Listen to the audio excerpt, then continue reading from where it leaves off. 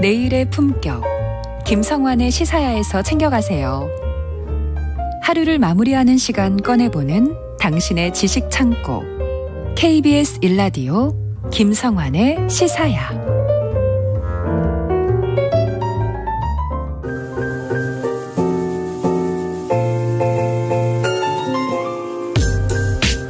미술 작품의 예술적 가치부터 경제적 가치까지 오늘도 흥미로운 미술 세계로 안내해드리겠습니다. 미술랭 가이드 오픈갤러리 홍지혜 디렉터 오늘 역시 함께하겠습니다. 안녕하세요. 네, 안녕하세요. 네, 벌써 10월이에요. 그러니까요. 날이 부쩍 추워졌네요. 그렇죠. 10월이면은 가을이 그냥 제일 먼저 생각나는데요. 네. 어, 혹시 이 가을에 네. 재밌는 일이나 이런 건 없어요? 아, 재밌는 일이요. 지난주에 딱 있을 뻔 했는데 네. 없어졌습니다. 왜 어떤 일이길래 그래요?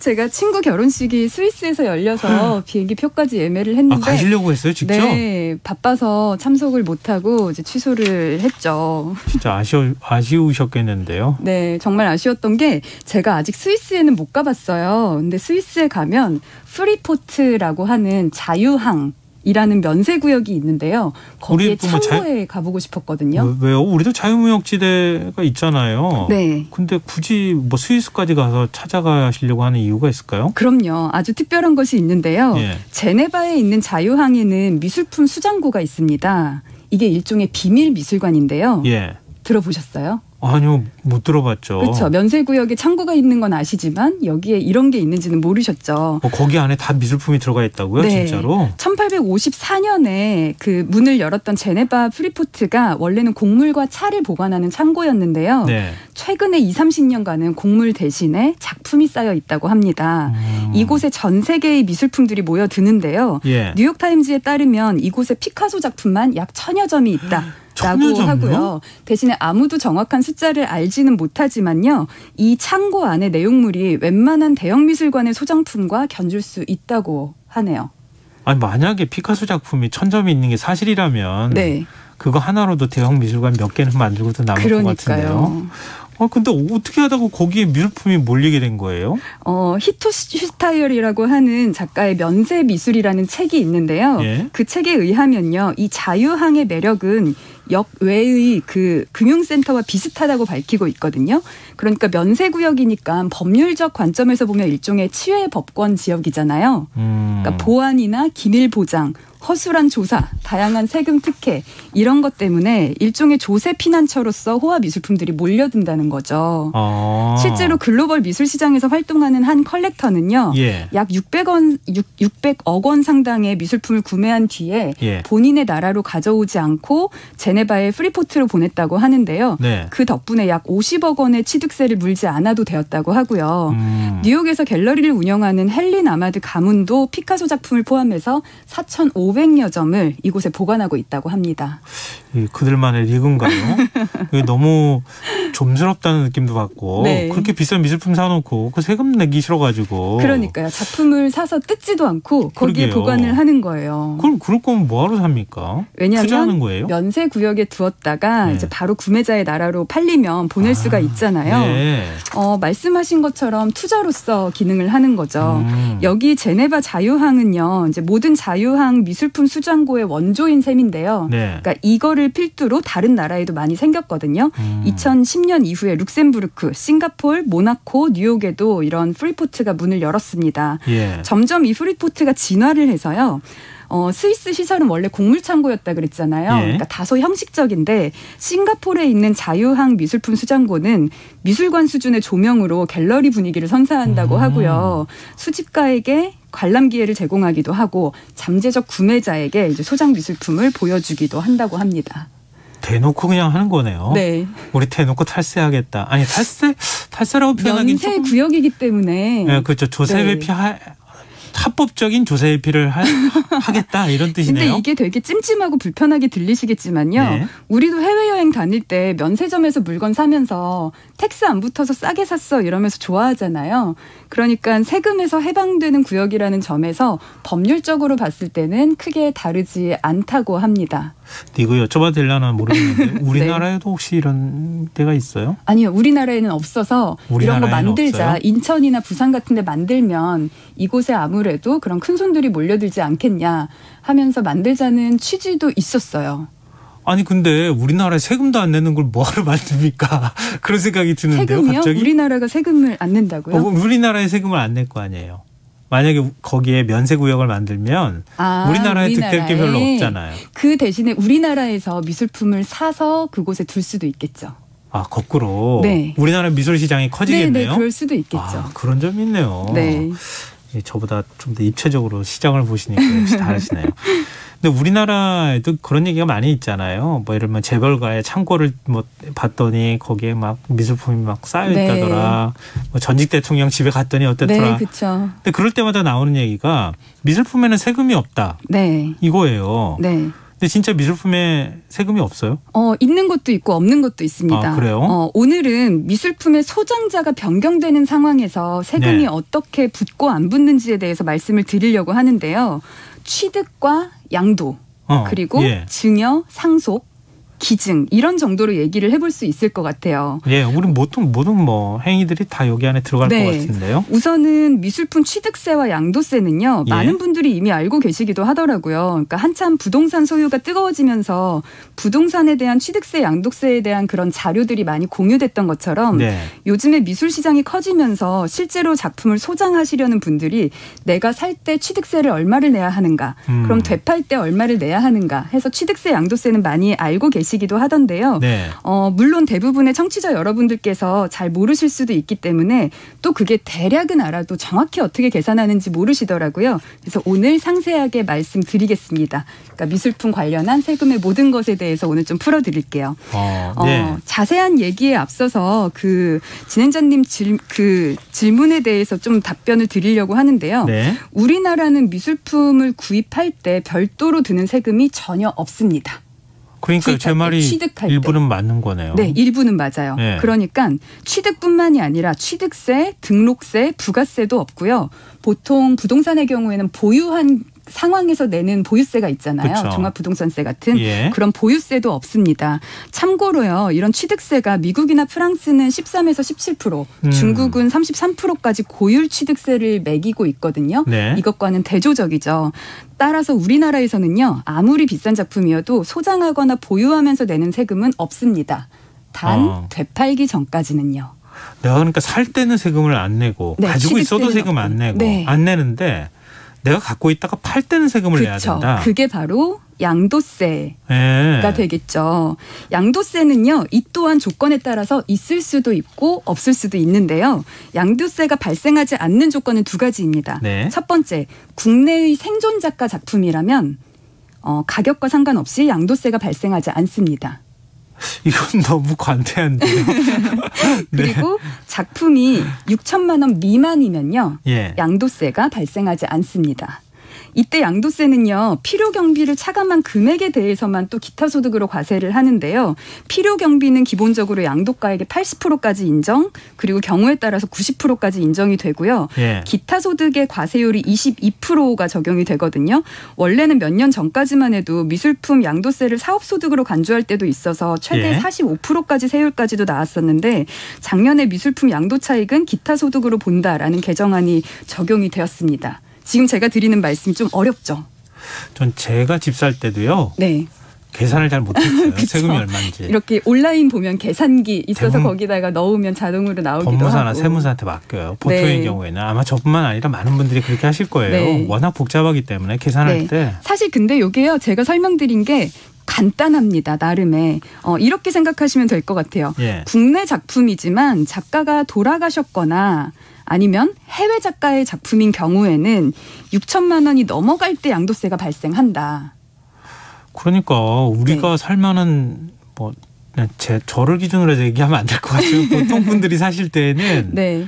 양도세가 안 붙는 미술품일 거 아니에요. 양도세가 안 붙는 미술품이 꽤나 많지만 대부분이지만 네. 어떤 경우에는 내가 안 붙을 거라고 생각하고 샀는데 그 사이에 작품 가격이 오르고 작가가 작고를 할 수도 있잖아요. 그래서 알아두시면 좋을 것 같아요. 내가 사는 시점을 가지고 얘기하는 거니까. 어, 내가 살 시점은 때는 생존 작가였는데 네. 아, 팔 파는 때. 시점. 팔 네, 팔때 때는 또 언제 어떻게 될지 되면. 모르니까 네. 네. 그러니까 알고 계시면 좋을 것 같은데요. 사실 그렇게 많지는 않습니다. 아까 제가 필요 경비로 인정되는 게 80%에서 90%라고 했는데 네. 이거를 차감하면 10%에서 20% 남잖아요. 어, 미술품 가격에서 네, 내가 예. 판매하는 양도하는 가격에서 예. 10%나 20%의 금액에 대해서 22%를 과세하기 때문에 결국에는 2.2% 혹은 4.4%를 낸다라고 그냥 단순하게 생각하시면 되세요. 때로는 안 낼 수도 있고요. 제가 지금 맞는지 모르겠는데요. 네. 말씀하시는 사이에 1억 원짜리 미술품이라는 걸 가정하고 계산했더니요. 220만 원을 내네요. 맞아요. 어. 정확히 계산하셨네요. 네. 네.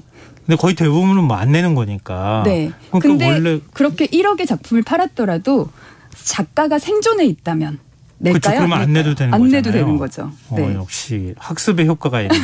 네. 계산이 나름 되게 쉽죠. 2.2% 아. 정도만 계산을. 그동안에 저도 좀 많이 헷갈렸었어요. 네. 많은 분들이 사실 미술품을 갖고 계시는 분들이 그렇게 많지는 않아서 네. 또뭐 기사나 이런 데 보면 재벌가 얘기가 주로 나오고 그러니까 네. 그러니까 미술품은 원래 세금 안 붙는가 보구나 네. 이렇게 생각하기 마련인데 그거는 아니다. 맞습니다. 취득할 네. 때는 안 붙고 팔 때는 붙을 수도 있고 안 붙을 수도 있는데 내가 산 작가가 돌아가셨다면 우선 낼 생각을 해야 된다. 정도로 생각하시면 될것 같아요. 아. 미술품 살 때는 네.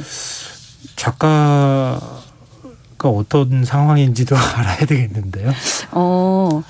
그 어떤 왜냐면 상황이라고 상대적으로. 이제 젊은 작가인 경우에 네, 네. 제가 샀다가 다시 되팔 때 네. 세금 안 내고 팔 수 있을 가능성이 높잖아요. 네.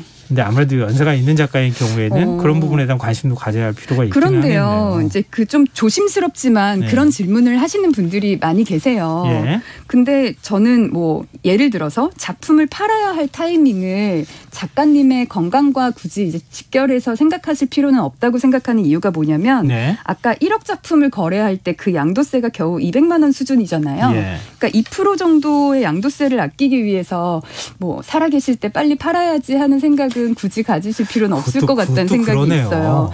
게다가 그 작가님의 작고 후에 그 희소 가치가 더 생길 수도 있고요. 아, 오히려요 양도세보다 올라가는 작품이 올라가는 가치가 훨씬 더 높아지니까 뭐 늘 그런 거는 내지만. 아니지만 그럴 수도 있는 거죠. 음, 그렇기 때문에. 상황에 따라 다르기 때문에 무조건 양도세를 피하기 피하기 위해서 작가님께서 살아생전에 내가 이 작품을 매도해 버려야지라는 생각은 굳이 갖지 않으셔도 괜찮을 것 같습니다. 제가 잘못 생각했습니다. 예, 오히려요 인정합니다. 양도세보다 더 생각을 하셔야 할 부분이 경매 수수료예요. 경매 수수료요? 네, 보통 부동산 거래할 때 뭐 취등록세, 양도세 이런 거 말고도 부동산 중개 수수료 내시잖아요. 음, 네. 미술품에서는 이 중개 수수료가 옥션에 내야 할 수수료인 셈인데요. 이게 꽤 높습니다.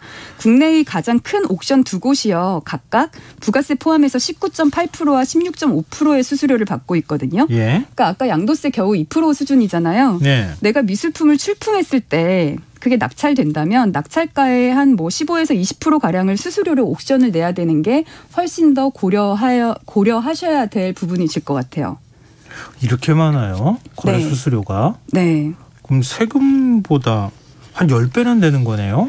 굳이 그쵸. 얘기하자면. 네, 굳이 이야기하자면. 근데 세금을 우리나라에서는 또 생존 작가의 경우에 굉장히 많이 감면을 해드리고 있는 상황이라서 문화예술 정책에 의해서 아, 그래서 뭐 미술시장 활성화를 네, 위해서. 맞습니다. 네. 그래서 뭐 세금의 10배다라기보다는 그냥 세금을 줄여드린 게 더 맞는 것 같아요. 왜냐면은 음. 해외의 옥션이 이것보다 훨씬 더 적게 받는데 우리나라만 많이 받는 상황은 아니기는 하거든요. 아, 근데 그 예전부터 좀 그런 생각을 했는데요. 갤러리도 많- 굉장히 많고 갤러리를 통해서 거래도 이루어지잖아요. 네. 네네. 또 왜 다 옥션을 통해서 거래를 하지? 어, 이런 우선은 생각을 했거든요. 우선은 아파트로 따지자면 네. 분양이 있고 이후에 부동산을 통해서 2차 거래 중개를 하잖아요. 예. 어, 그러니까 분양받는 게 일종의 1차 시장, 내가 첫 번째 컬렉터가 되는 것. 이 기능을 하는 것이 갤러리이고요. 예.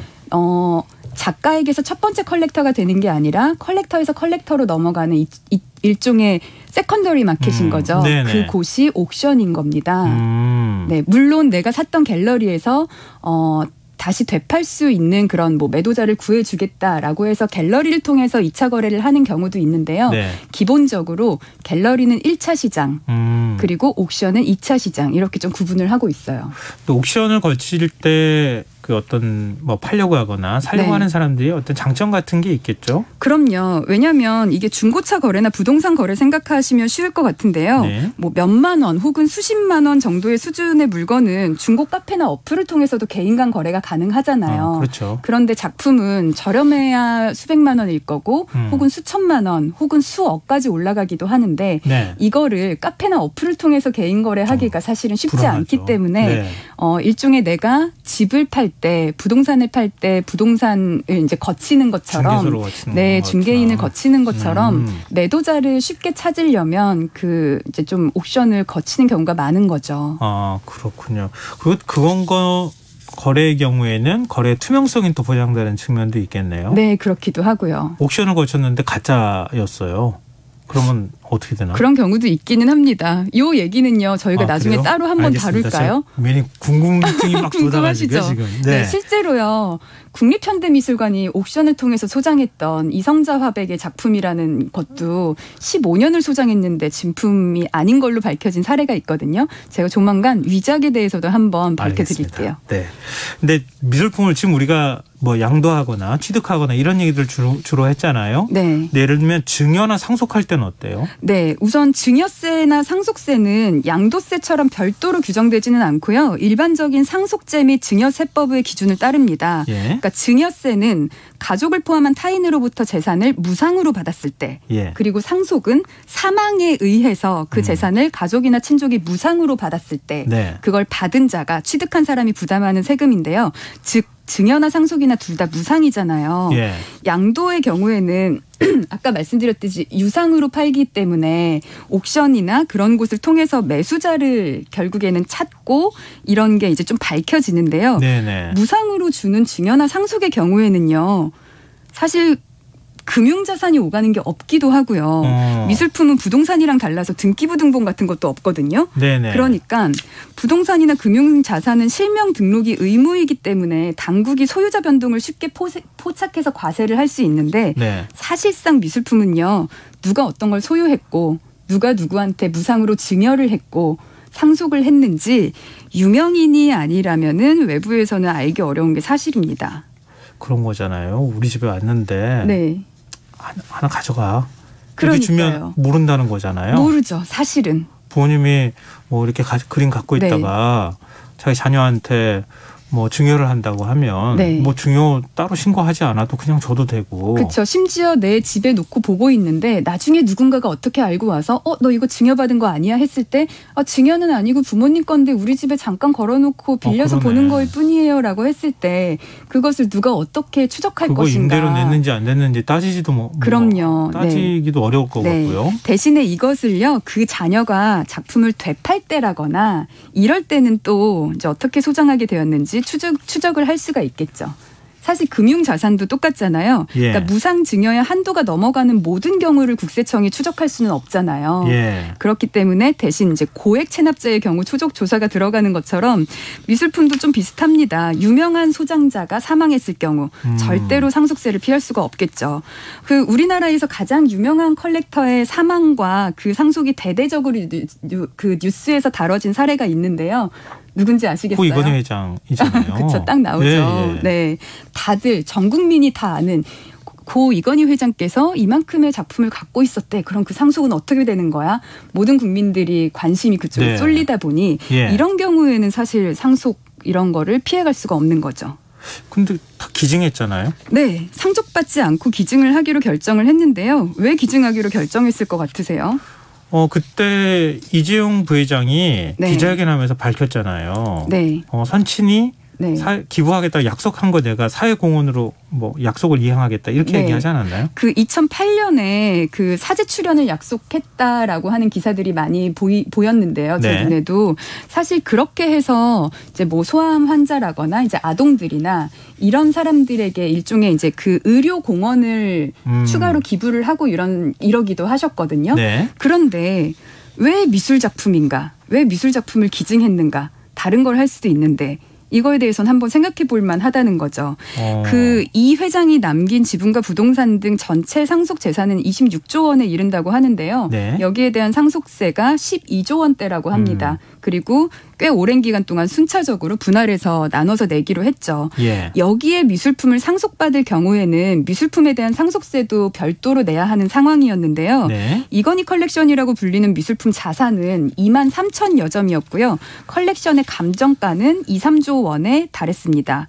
어, 그 미술품도 상속 시에 일반 상속 재산과 동일하게 상속세 낸다 그랬잖아요. 예, 예. 그럼 아까 26조에서 12조 원 냈듯이 거의 50%에 가까운 상속세, 그러니까 1조 가량의 세금을 음. 미술품에 내야 되는 상황이었거든요. 네. 그런데 이 미술품들을 기부해서 이제 부과될 상속세도 줄이고 동시에 일반 대중들에 대한 그 기업의 책임도 다할 수 있는 방법으로서 어 이게 나- 더 낫겠다 기증하자 이렇게 판단했을 거라는 의견이 좀 더 대부분입니다. 혹시 미술품 기증 하면 네. 상속세를 차감해 줍니까? 어 세법상 국유기관이나 공공재단의 미술품을 기증하면 미술품의 상속세는 면할 수 있습니다. 아, 국유기관이나 공공재단에 기증하면 네. 하지만 미술품을 내가 상속받지 않는 대신 기증할 테니 미술품에 대한 상속세는 안 받게 해주세요인 거죠. 아. 포기하는 거죠, 같이. 상속세와 내가 소유하는 거 둘 다 포기하고 기증을 해버리는 거죠. 그러니까 나한테 미술, 미술품이 오는 게 아니라 거쳐가는 게 아니라 곧바로 네, 네. 그냥 기증하는 쪽으로 네. 넘어가게 만드는 거군요. 네. 대신에 이게 다른 상속세를 어 미술품 개- 기증을 했으니까 깎아줄게요라고 하거나 음. 이런 식의 상속세를 미술품으로 대신 내는 물납제와는 또, 또 다른 거거든요. 예. 우리나라는 물납제를 허용하지 않고 있고요. 따라서 삼성가가 미술품으로 상속세를 대납했다고 보기는 어렵고요. 음. 미술품에서 부과될 상속세를 그냥 안 내고 예. 기증했다 정도로 보는 게 맞는 거죠. 근데 이 결정이요. 네. 단순하게 상속세를 내지 않으려고 미술품 상속을 포기했다라고 보기는 어렵습니다. 왜냐하면요. 네. 아까 감정가가 2, 3조 어, 그 원이라고 했지만 예. 시가로는 한 10조 원 정도 된다고 전문가들이 이야기를 하거든요. 네. 다시 말해서 좀 번거롭고 시간은 걸리겠지만 그 그림을 팔아서 벌어들인 수익으로 상속세를 납부할 수도 있는 거거든요. 근데 이런 생각도 했을 것 같아요. 그 이건희 컬렉션이 수백 수천억 원에 달하는 작품들이 막 포함이 되어 있거든요. 네. 뭐 피카소나 모네 이런 작가들의. 근데 이 정도의 작품을 팔려면 해외에다 팔아야 됐을 거예요. 그렇죠. 그러면은 일종의 문화 자산이 해외로 반출될 수도 있는 거고요. 아까 말씀하신 고 이건희 회장의 그 13년 전의 약속처럼 14년 전의 약속처럼 그러니까 세법도 그렇고 신념도 그렇고 그 두 가지를 복합적으로 고려한 결정이라는 생각이 저는 들기는 합니다. 근데 상속세 면제 외에 다른 세금 감면 같은 건 아예 없는 거예요? 전혀? 어, 다른 세금 감면, 그 이제 기증에 의한 세금 네, 감면 네. 말씀하시는 예. 거죠. 네, 없습니다. 그러니까 이전에는요, 상속세와 증여세를 모두 물납이 가능했을 때도 있었는데요. 2016년 1월부터 세법 개정에 따라서 그러니까 증여세는 아예 물납이 불가능해졌고 음. 상속세는 상속 재산 중에 금융 재산이 상속세 납부 세액보다 적은 경우에만 그럴 때만 허용하도록 요건이 강화됐거든요. 예. 그러니까 안 그래도 이 상속세 물납제가요 삼성가로 인해서 세간의 관심사로 떠올랐 다고 해도 과언이 아니거든요. 그래서 2023년 내년부터는요 문화재나 미술품으로 그런 걸 기증을 하게 되면 음. 어, 상속세를 대신 납부할 수 있는 물납제가 허용된다고 합니다. 아, 그래요? 네. 대신에요 물납이 가능한 대상은 이제 역사적, 학술적, 예술적으로 가치가 있는 그 문화체육관광부 장관이 요청하는 것에 이렇게 해당이 되어야 한다고 하고요. 근데 이게 사실 상속세의 미술품 대납이 그러니까 대납이 애초에 가능했다면 예. 저는 좀 궁금해지네요. 삼성가가 과연 이걸 기증을 결정을 했었을까? 아니면 그 상속세에 해당하는 것만 미술품으로 대납을 하고 나머지는 소장을 했을까? 약간 궁금해지기는 합니다. 근데 제가 알기로는 전부 다다 기증한 건 아닌 것으로 아는데 그런가요? 저는 조금 남겨뒀다는 얘기도 있던데 2만 그냥 3천 설입니다. 여점이라고는 들었는데 원래 갖고 계셨던 게 얼마인지 저도 잘 모르기 때문에 그렇죠. 그걸 잘 몰라서. 하네요. 예. 한두 점 집에 남겨놨을 수는 있겠죠. 근데 말씀 듣다 보니까 궁금한 게 네. 해외 같은 경우에도 물납제나 이런 게 다 허용이 되고 그러죠? 네, 그럼요. 문화 강국이라고 불리는 대부분의 네. 나라들에 있고요. 어, 영국, 프랑스 이런 국가들이 이런 미술품 물납제를 활발히 시행을 하고 있거든요. 예. 처음 시작한 국가가 영국이고요. 1896년에 시작을 했으니까 그 역사가 벌써 120년이 훨씬 넘었죠. 프랑스의 그 국립 피카소 미술관 있잖아요. 예. 거기가 미술품 물납제의 대표적인 사례인데요. 피카소 사망 후에 유족이 상속세 대신에 200여 점 작품을 정부에 그 이렇게 납부를 했고요. 이거를 개조해 그러니까 이거를 가지고 세운 것이 국립 피카소 미술관입니다. 다만요. 그 무분별한 물납이요. 사실은 어떤 면에서는 탈세를 야기할 수도 있거든요. 네. 그렇기 때문에 전문 기관의 심의 과정을 거쳐서 대상을 선정하는 절차가 잘 보완되어야 한다고 합니다. 네. 2712님께서 질문해 주셨는데요. 유명한 한국화 작가님 작품을 지금 거실에 걸어두고 있는데 이거 네. 인사동 가서 작품 팔면 세금 네. 부과되는지요? 이렇게 물어보셨어요. 어, 인사동에서 그거를 사준다고 하는지 모르겠는데요. 만약에 사준다고 그러면. 만약에 사준다면요, 인사동에 있는 일종의 뭐 골동품 그런 이제 판매하는 곳에서 사준다고 하면 별도의 세금은 사실 내지 않아도 되실 것 음. 같아요. 알겠습니다. 참고하시면 어떨까 싶습니다. 네, 미술품과 관련한 오늘 세금 굉장히 흥미로웠습니다. 어, 앞으로 제가 미래의 미술품을 갖게 되면 한번 참고할 만한 소식이 아닐까 싶습니다. 자, 미술랭 가이드 오픈 갤러리 홍재 디렉터와 함께했습니다. 오늘 말씀 고맙습니다. 네, 감사합니다. 김성환의 시사회 오늘 순서 여기서 마치겠습니다. 모바일 쿠폰 당첨자는 홈페이지 공지사항에서 확인하실 수 있습니다. 편한 밤 되십시오.